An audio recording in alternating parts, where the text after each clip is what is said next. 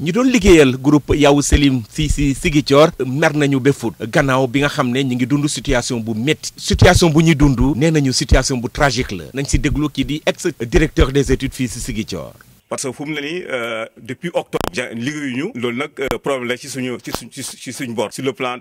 sur le plan xaalis et surtout ak ci suñ famille yëpp. et souvent nag lu mu jural nag bëri na. lu ñu jural nag bari na parce que ñun ay borom ay borom kër lañu ñu dañuy fay ay location te dañuy inscrire soñ suñu doom mais damay bay nag personnel sax ñu wax leen ñoom ñoo gën a gën a gën a fi waaw loolu loolu moo ci ne daal daal daal mu am nañ problème de location problème euh, scolarité suñu suñu doom yi ak tëb lépp lu ñu ne daal seen daje ak taskatu xibaar yi si mercredi bi euh, doon na occasion pour monsieur Diaye pour mu yëkkati kaddu naan ñi ngi ñaawlu li tax établissement Yaw Selim bu Ziguinchor bokkul si euh, reprise parcelle bi nga xam ne waa fondation Marie fu ñoo ko def. gis nañu aussi que quelque part au niveau de Thiès Dakar et et et Saint-Louis am na école yu Marie jël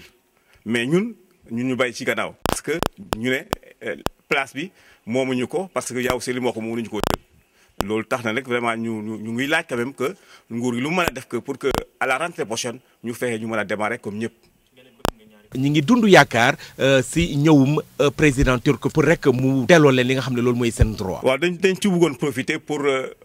xamal nit ñi xamal xamal président ñaari président ak nit ak ak ak ak opinion bi yëpp situation yu nekk di dund. fàttali rek ni